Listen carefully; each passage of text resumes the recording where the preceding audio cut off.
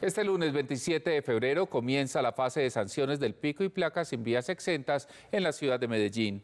La primera semana de implementación pedagógica de esta medida en el sistema vial del río, con sus conexiones con el oriente, el occidente y los barrios periféricos, registró 9.627 capturas de pantalla a un número igual de infractores. Ahora quienes incumplan la medida deberán pagar una multa de 580 mil pesos.